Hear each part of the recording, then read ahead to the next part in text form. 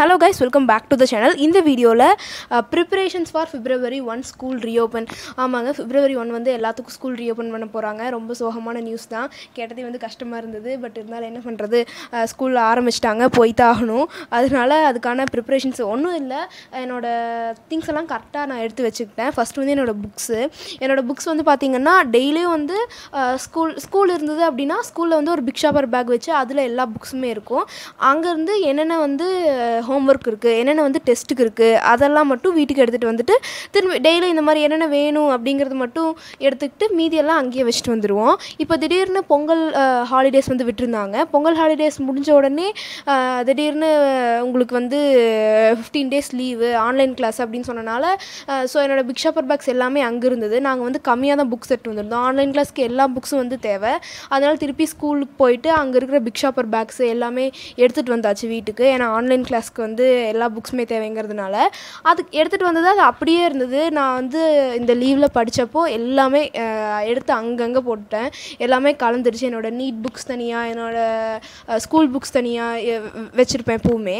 அது எல்லாமே கலந்துருச்சு. ஸோ அதெல்லாம் தனியாக எடுத்து வச்சுட்டு யூஸ் பண்ண நோட்டு யூஸ் பண்ணாத நோட்டு எழுதாத நோட்டு இருக்கும்ல அது அது எல்லாமே தனியாக எடுத்து வச்சுட்டேன். அதுக்கப்புறம் என்னோடய ஃபைல்ஸு எல்லோ கலரில் இருக்குது பாருங்கள் அதுதான் என்னோடய ஃபைல் எல் எல்லா சப்ஜெக்ட்டுக்கும் ஃபைல் கொடுத்துருக்காங்க.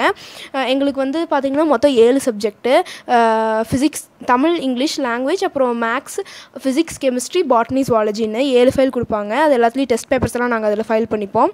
அதெல்லாம் தனியாக எடுத்து வச்சுட்டு ஃபஸ்ட்டு என்னென்ன மண்டே டியூஸ்டே வந்து என்னென்ன கிளாஸஸ் இருக்கோ அதுக்கான அந் அந்த கிளாஸ்க்கு தேவையான புக்ஸ் மட்டும் எடுத்து நான் பேக்குள்ளே வச்சுக்கிட்டேன்.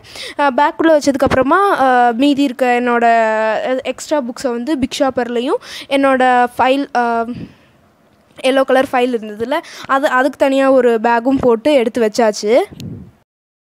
ஸோ இதுதான் வந்து அந்த பேகு நான் ஃபைலுக்காக வச்சுருந்தேன். அது என்னோடய ஏழு ஃபைலையும் வந்து அதுக்குள்ளே போட முடியுமான்னு நினச்சேன். அப்புறம் கரெக்டாக இருந்தது என்னோடய ஏழு ஃபைலுக்கு அதுக்கப்புறம் சொன்ன மாதிரி தேவையான புக்ஸ் எல்லாம் எடுத்து பேக்குள்ளே வச்சதுக்கப்புறமா மீதி இருக்கும்ல எல்லா புக்ஸும் அதெல்லாம் எடுத்து என்னோடய பிக் ஷாப்பர் பேக்கில் வச்சுட்டேன்.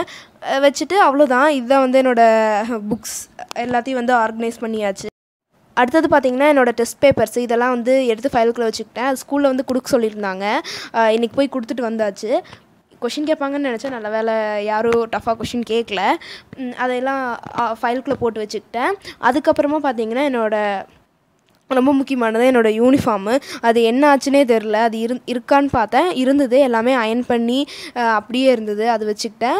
அடுத்து என்னோடய லஞ்ச் பாக்ஸ்லாம் கரெக்டாக இருக்கான்னு செக் பண்ணிக்கிட்டேன். இதை செக் பண்ண வேண்டியதில்லை. இப்போ சப்போஸ் லீவ் விட்டுருக்காங்க அப்படின்னா எங்கள் அம்மா என்ன பண்ணுவாங்கன்னா யாருக்காவது கொடுத்து விடணும் இல்லை ரிலேஷன்ஸ்க்கு எதாவது ஏதாவது கொடுத்து விடணும் வீட்டில் இருந்துன்னா என்னோடய லஞ்ச் பாக்ஸ் எடுத்துப்பாங்க. ஸோ அது இருக்கா கரெக்டாக இருக்கா அப்படின்னு பார்த்துக்கிட்டேன்.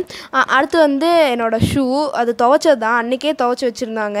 ரொம்ப நாளாக ஒரே இடத்துல இருந்ததுனால அது கொஞ்சம் மண் பிடிச்சிருச்சு.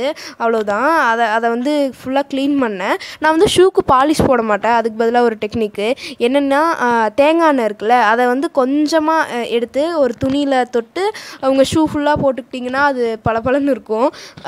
அதான் நான் வந்து எப்பவுமே பண்ணுவேன். இன்றைக்கும் அதே மாதிரி கொஞ்சமாக தேங்காய் எண்ணெய் எடுத்துக்கிட்டு என்னோடய ஷூவில் ஃபுல்லாக தொடச்சிட்டேன். நல்லா பார்க்க ஷைனிங்காக இருந்தது. என்னென்னா அது காய அது வந்து காயிற வரைக்கும் குப்பையில் ஐ மீன் காற்று குப்பை படாமல் ஒரு டஸ்ட் படாமல் ஒரு இடத்துல நீங்கள் வைக்கணும். பாருங்கள் ஷைன் ஷைனிங்காக இருக்குது அது போட்டதையும். அதுக்கப்புறமா இது நான் நேற்று எடுத்த கிளிப்பு என்னென்னா நான் வந்து ஒரு மணி பிளான்ட்டு வாங்கிட்டு வந்தேன். காசு கொடுத்து வாங்கிட்டு வரல. அது எங்கள் வீட்டுக்கிட்ட ஒருத்தவங்க வீட்டில் நிறையா மணி நிறையா வச்சுருந்தாங்க. ஐ மீன் பெருசாக படர்ந்துருந்தது. அவங்கக்கிட்ட போய் ரெண்டு கொடுங்க அப்படின்னு சொல்லி கேட்டு வாங்கிட்டு வந்திருந்தேன். அவங்க எனக்கு மூணு பிளான்ட் கொடுத்துருந்தாங்க நட்டு வைக்கிற மாதிரி. அதில் ரெண்டு வந்து நான் மண்ணில் நட்டு வச்சுட்டேன். சரி இந்த ஒன்றை மட்டும் நம்ம இன்னொரு இருந்ததை வந்து நம்ம தண்ணியில் போட்டு வைக்கலாம் அப்படின்னு சொல்லிட்டு அதுக்காக தான் இந்த கிளாஸ் பாட்டிலில் தண்ணி ஃபில் பண்ணேன். உள்ளே போட்டு வச்சுட்டேன். எப்படி வளருதுன்னு தெரில இது நல்லா வளர்ந்ததுக்கப்புறமா எடுத்து டேபிள் மேலே வச்சுக்கலான்ட்டு அந்த டேபிள் மேக்க ஒரு வீடியோவுக்கு இந்த வீடியோ பிடிச்சிருந்தா மறக்காமல் லைக் பண்ணி ஷேர் பண்ணி சப்ஸ்கிரைப் பண்ணிக்கோங்க.